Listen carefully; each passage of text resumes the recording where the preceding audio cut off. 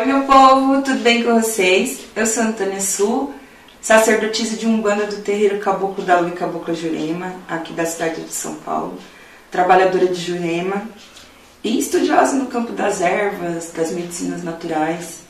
E estou aqui hoje muito, muito, muito honrada é, em estar participando desse novo projeto dos meninos do, da Toques de Axé. É, antes de começar a falar, queria, não posso deixar de agradecer, né? Agradecer imensamente ao convite dos meninos, do Rodrigo Prado e do Thiago Fernando, para participar desse projeto, de levar um pouquinho de conhecimento das coisas que a gente aprende no caminho é, para todos vocês, com muita simplicidade, com muito respeito à história de cada um, muito respeito a todos os irmãos. É, queria agradecer, fica aqui minha imensa gratidão a eles. E nós damos início hoje ao programa Flor da Jurema. Flor da Jurema, é isso. E antes de começar a falar, eu queria mesmo pedir inspiração, né? Pedir inspiração aos mestres de magia natural e os mestres espirituais de uma forma bem é, respeitosa. Se a gente vai falar de erva, vai falar de espiritualidade, estar diante de um congá sagrado, desse cantinho aqui que é meu, não é o congá do terreiro, mas é um cantinho meu. Então, é, quero agradecer imensamente aos mestres de magia natural, aos, aos meus mestres espirituais, a todos os mestres físicos, carnais, né? que de alguma forma me influenciaram e de alguma forma é, me inspiraram a estar aqui falando com vocês hoje. Então, meu Pai Criador, minha Mãe Natureza, Poder Divino e Forças Naturais, possam nos abençoar, me abençoar é, e me inspirar para que a gente possa levar um pouquinho de conhecimento de todo o aprendizado que a gente recebeu. Muita gratidão a todos vocês. Então vamos lá. É, quando a gente fala sobre ervas, né, a gente não pode. Antes da gente começar a falar sobre ervas, a gente não pode esquecer da história. Mas antes disso, é, eu queria é, estimular, né? Queria, queria tocar o coração de vocês para uma questão muito importante, que é sobre pensar com as nossas próprias cabeças, né? Tem um filósofo, até trouxe aqui, é, eu queria citá-lo lendo um, um, um pedacinho de um texto dele. O nome dele é Immanuel Kant. Ele é um dos filósofos do, do século repassado, de mil, mil, 1700 e 1800. Ele faleceu em 1800, por isso que eu falei repassado. é, é, uma, é uma nova palavra, uma neologia, né, que eu falei agora é, ele, ele dizia, falava sobre o esclarecimento. O nome do texto é O que é esclarecimento? E, e diz assim: esclarecimento é a saída do ser da sua minoridade. Minoridade é a incapacidade de um indivíduo fazer uso de seu entendimento, sem direção e outro indivíduo, de outro indivíduo. Tenha coragem de fazer uso do seu próprio entendimento. Esse é o lema do esclarecimento. É tão cômodo ser menor. A preguiça, a covardia são as causas para os seres ficarem a vida toda de bom grado menores. Se tem um livro que faz as vezes de meu entendimento, um dirigente espiritual que tem consciência por mim, um médico que decide a respeito da minha dieta, então não preciso esforçar-me mas ouço, ouço clamar de todas as partes: não raciocinai. O oficial diz: não raciocinai, mas fazer exercício. O conselheiro financeiro diz: não raciocinai, mas pagai. O padre diz: não raciocinai, mas crede. Então eu, eu penso assim: é, Immanuel Kant, um, um, uma pessoa à frente do seu tempo, é, desafiava mesmo as pessoas que liam e que acompanhavam a, a trajetória dele e as coisas que ele, ele escrevia, o que ele estimulava, é, a pensar com suas próprias cabeças. E a gente está no, no, século XXI e ainda a gente ainda é, fica preso a, a, isso, né? A pensar com a cabeça de outra pessoa, a seguir outra pessoa cegamente. E então é, é, muito mais cômodo a gente, por exemplo, ter um conhecimento, a gente como filho de santo mesmo, eu estou trazendo para o âmbito religioso. Então a gente como filho de santo responsabilizar os pais para o no, nosso desenvolvimento, quando na verdade parte do que parte do nosso desenvolvimento está completamente ligado a nós. Então, quando a gente faz um banho de ervas ou com, com qualquer outra coisa, da forma como você entendeu, é, a responsabilidade é sua, não do outro. Então, por isso que é, eu fiquei muito animada em falar um pouco de ervas para vocês, porque é uma forma da gente conhecer, entender e se responsabilizar por aquilo que, que a gente entendeu. Para mim, quando eu, eu, eu, esse texto eu, eu, eu trago ele comigo tem mais ou menos cinco anos a partir do momento que eu o li pela primeira vez. E eu falo bastante no desenvolvimento sobre ele e estimulo os médiums que trabalham comigo para pensar com suas próprias cabeças, formar opinião é, é importante. O médium é um formador de, de opinião, né? Então, a gente estimular que vocês pensem com suas próprias cabeças, que tenham entendimento daquilo, conheça aquilo e realmente faça uso de forma consciente é importante. A gente está numa época de fé consciente, né?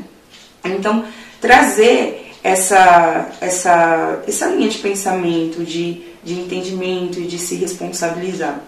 Quando eu peguei esse texto ontem para estudar, para falar para vocês, é, para dar início mesmo ao, ao programa, é, foi assim, como se tivesse caído como uma luva para mim. É óbvio que eu tô aqui com vergonha, com, eu nunca fiz um trabalho assim.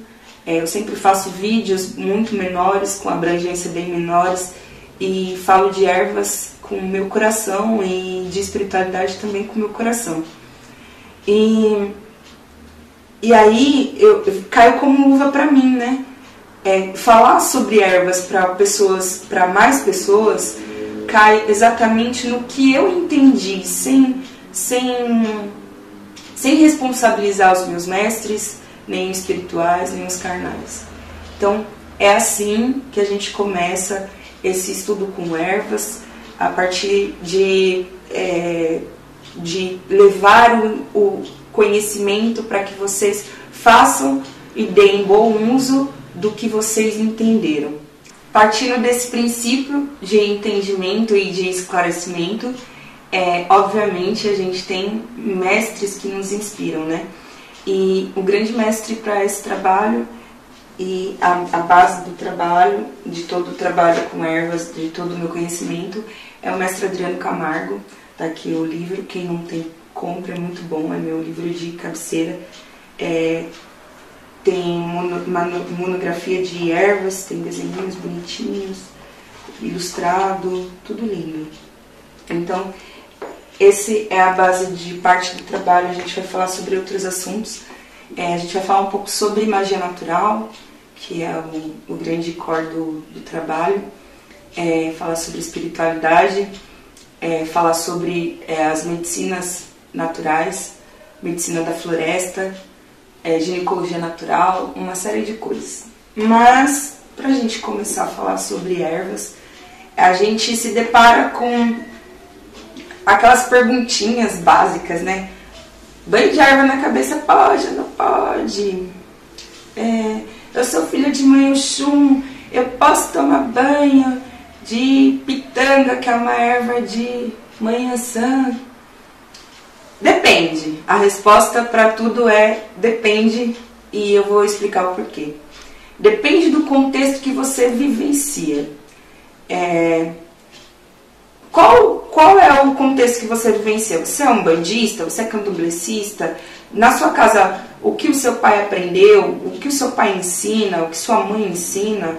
Dentro da sua casa religiosa? O que você acredita? É, a sua mente vai te trair. O que depende de uma série de coisas. Então, é, para a gente poder falar sobre isso, a gente vai precisar falar um pouquinho, contar um pouquinho de história. Se eu cair aqui, gente, tá vendo? Tô balançando aqui. é, então, a gente vai precisar contar um pouco de histórias, é, histórias sobre isso, história é, da religião, né, história de religião, história da, da escravidão, um pouquinho de história da erva, do surgimento da erva. É, o uso da erva em religiões é desde os primórdios. Eu, a gente não tem é, escrito de quando isso começou a, a, acontecer, quando o uso das ervas começaram a acontecer. A gente vê, por exemplo, para você ver como é tão antigo, a gente vê na história dos três reis magos que fala sobre é, os presentes que os três reis magos levaram para Jesus Cristo. Aquilo dali era, a gente estava falando de erva, não estava falando exatamente de ouro, a gente estava falando de resina. Mais para frente eu vou falar sobre isso também. É, então, vamos contar um pouquinho da história da escravidão para vocês entenderem porque da onde que surgiu é, essa história de não poder tomar banho de erva, de determinada erva na cabeça. Vamos combinar uma coisa? A gente vai banir do nosso vocabulário os dizem que. A gente tem que começar a, a pensar mais e ir atrás é, das bases, ir atrás da onde que veio essa história, da onde que veio que a gente não pode tomar banho da cabeça aos pés, por exemplo.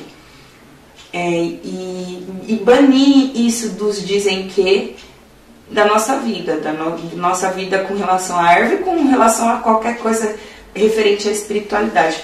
Costumem-se, acostumem-se a perguntar os porquês mesmo para os seus pais, com todo respeito. Eu sou mãe eu, e eu adoro que me perguntem o porquê das coisas que eu digo. E, inclusive, gente, vai ficar. O, o link vai ficar aqui. Você vai, vai, vocês podem fazer perguntas que na próximo, no próximo vídeo eu respondo, tá bom?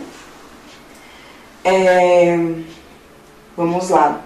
Então, falando sobre, sobre isso, é, falando sobre a escravidão, a gente tem uma história é, de, de escravidão já na África, né? Então a gente pega o povo africano, lá já tinha a escravidão é, dentro dos próprios povos, né? Era, um, era um, havia uma rivalidade entre os povos. Então, uma aldeia que era de Manhushum tinha ali uma rivalidade com a aldeia ali que era de manhã Estou dando um exemplo básico. São povos é, de Nagô, Jeje, e que tinha ali uma rivalidade.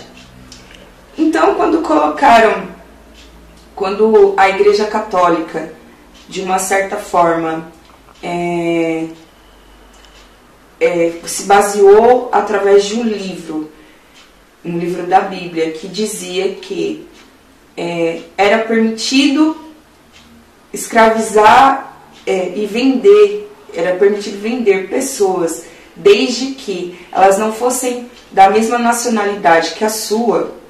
Então, os povos europeus, é, estimulados por esse livro chamado Êxodo, é, de, de Dom Bartolomeu de las Casas, é, que dizia que podia vender as pessoas, começou a vender a escravizar mesmo os, os africanos. Foram para a África, pegaram os africanos, botaram no navio e vieram para as Américas.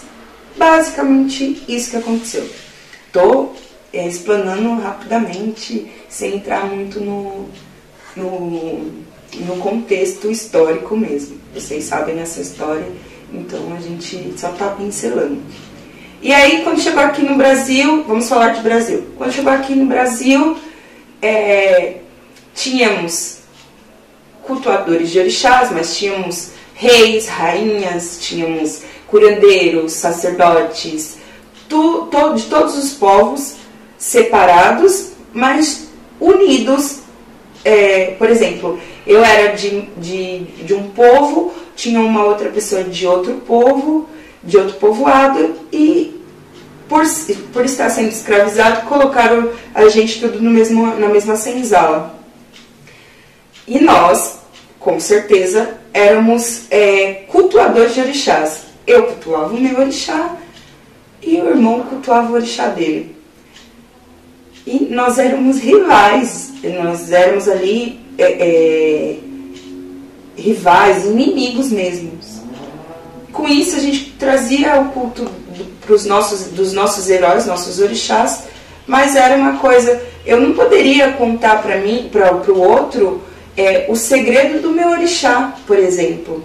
Eu não poderia dizer para o outro como eu chamava o meu orixá, como eu chamava o meu herói. Então, era tudo muito velado, era tudo muito é, escondido, misterioso. Eu não poderia cantar um, um, um canto que chamava o meu orixá para o meu inimigo também poder chamar meu orixá. Compreende isso? Então, era mais ou menos assim. Então, a, quando os povos africanos vieram para cá, eles se depararam com uma vegetação diferente, com árvores diferentes, mas com uma vegetação rica, e que também na África era. Então eles começaram a, a olhar para a erva, olhar para as árvores e começar a identificar características parecidas com a que eles usavam para os orixás dele. Para chamar aquele orixá, para ter a vibração, aquele magnetismo daquele orixá. Então, vou dar um exemplo. Eles viam a aroeira, uma, um pé de aroeira, e falavam, nossa, isso aqui parece com uma erva que eu utilizava lá para o meu orixá Xangô. Vou dar um exemplo. Aí eu olhava vibracional, vibratoriamente, energeticamente, olhava e falava assim, não, isso aqui parece com uma erva que eu usava também lá para o meu orixá Xangô.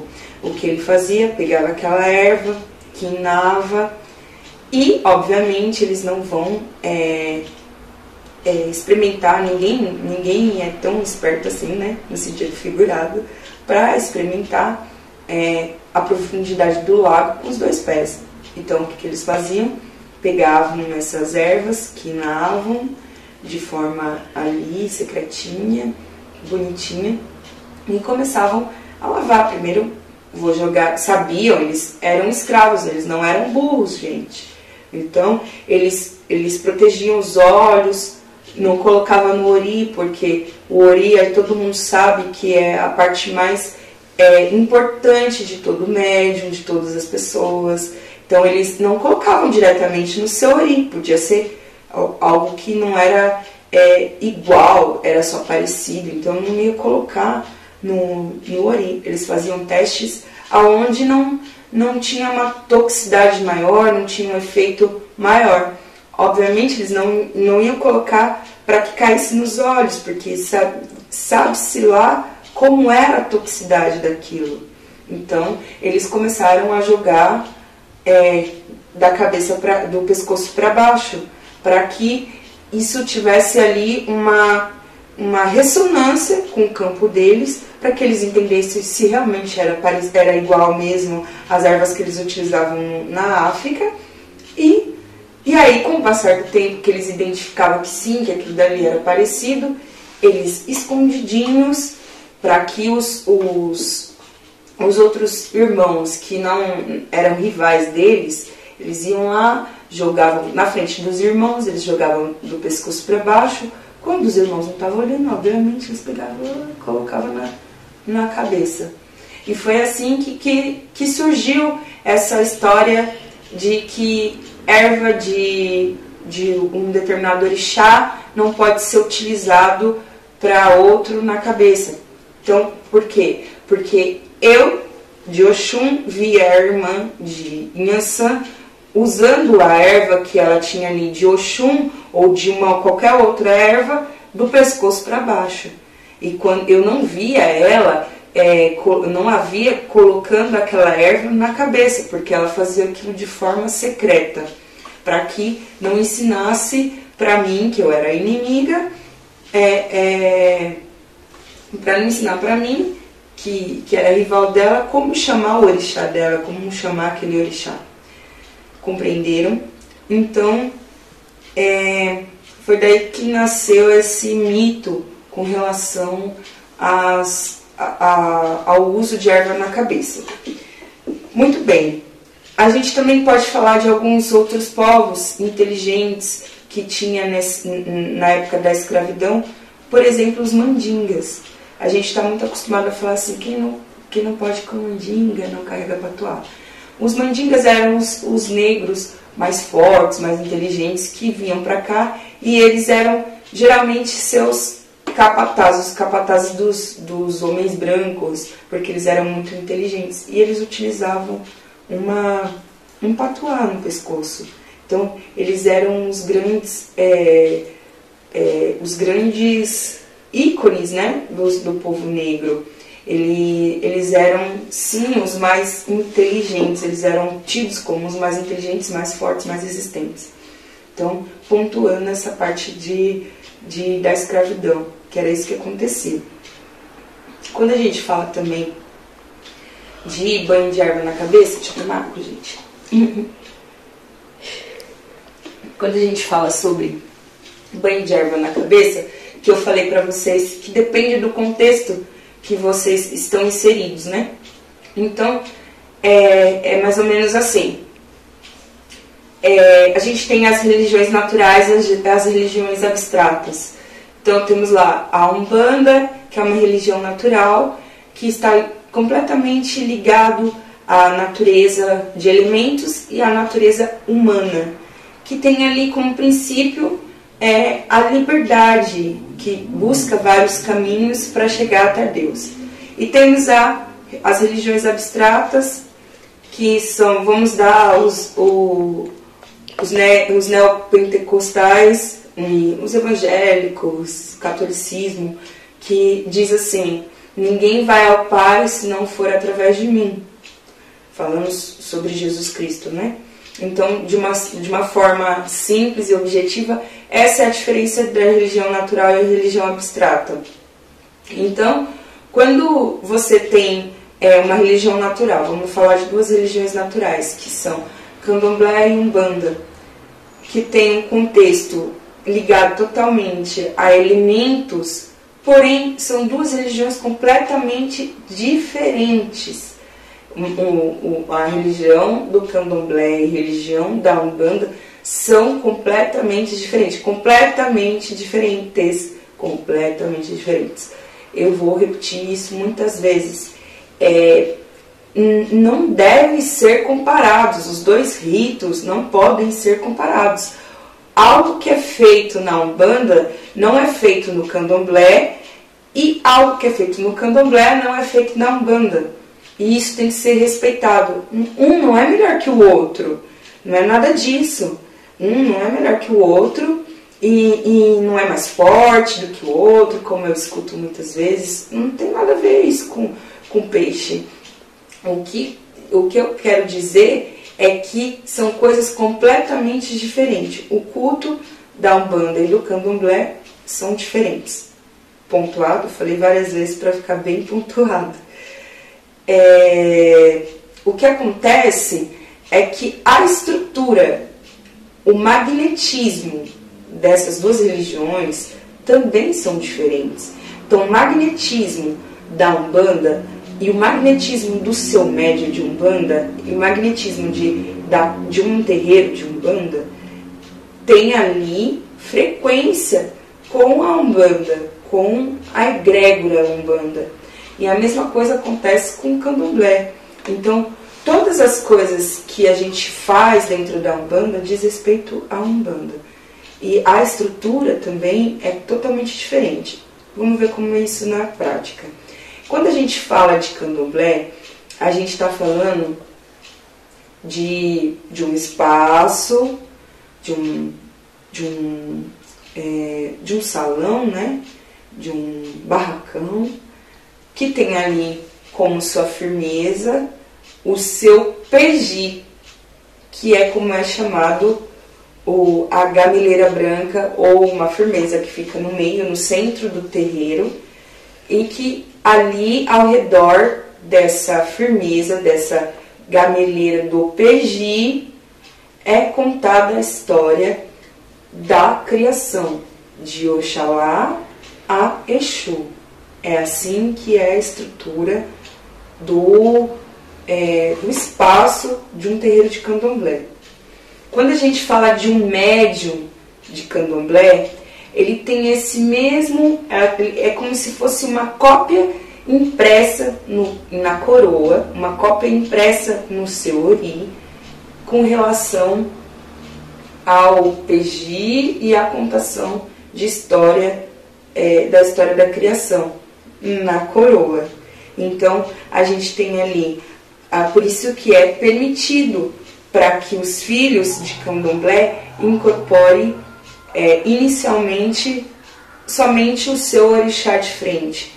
Obviamente, se você é filho de candomblé, se você é um médium de candomblé, obviamente você não vai poder utilizar a qualquer erva na sua cabeça, porque é a sua doutrina, é assim que é a sua história, é assim que é a sua estrutura.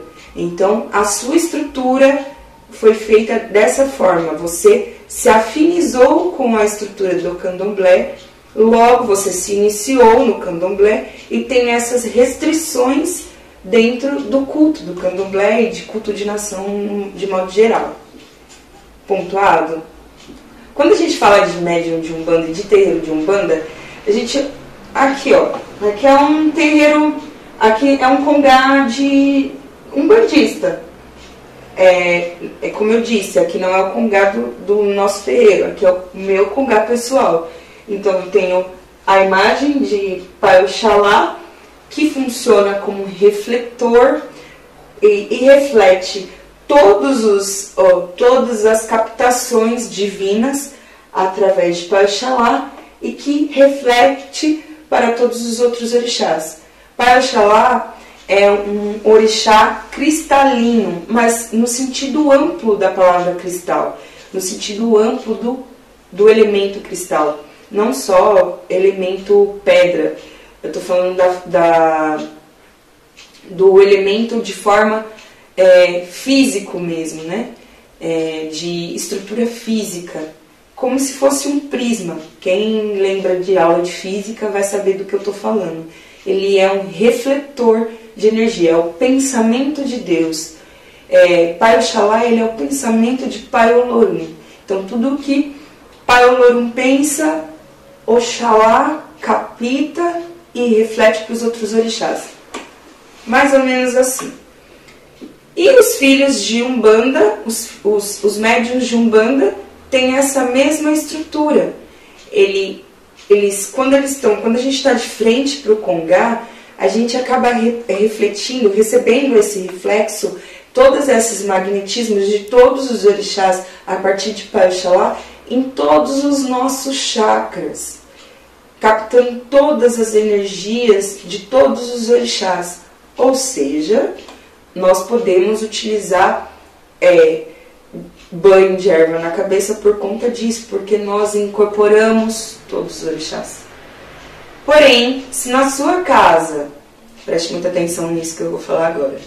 Porém, se na sua casa o seu pai de santo ou sua mãe de santo diz assim, é, utilize banho de erva somente do pescoço para baixo, obedeçam. O máximo que se, se você está confortável com a estrutura do seu terreiro, se você está confortável com as regras do seu terreiro, com os dogmas que são colocados ali, tá tudo bem, tá tudo bem. Vocês vão me ouvir bastante falar isso, gente. Vocês vão me ouvir falar muito, tá tudo bem.